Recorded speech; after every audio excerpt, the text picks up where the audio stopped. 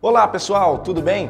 Primeira sexta-feira do mês, dia 4 de outubro, e a partir de agora você acompanha comigo, Guilherme Pimentel, as principais notícias da semana do governo de Mato Grosso do Sul.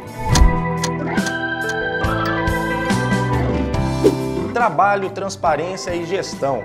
Esse é o tripé que colocou o Mato Grosso do Sul como um dos estados finalistas na categoria Destaque Crescimento do Prêmio Excelência em Competitividade. Essa categoria reconhece o nosso estado com o maior destaque no desenvolvimento das áreas de infraestrutura, segurança pública e sustentabilidade social, o que confirma que nosso modelo de gestão traz resultados positivos, gerando crescimento e empregos para todo o Mato Grosso do Sul. Pensando na qualidade de vida da população indígena e na proteção dessas populações, o número de conselhos comunitários de segurança nas aldeias vai dobrar em todo o estado.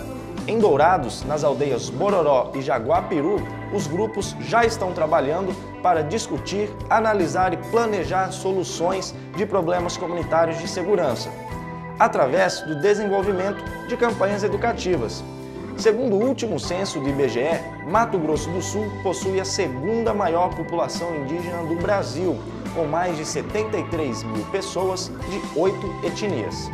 E você já ouviu falar em ecoterapia? Este método terapêutico que utiliza cavalos é realizado pelo Centro de Ecoterapia da Polícia Militar de Mato Grosso do Sul. A relação entre as crianças e os animais acolhe, aproxima e contribui para o desenvolvimento dos pequenos. Quer saber mais sobre esse projeto da Polícia Militar?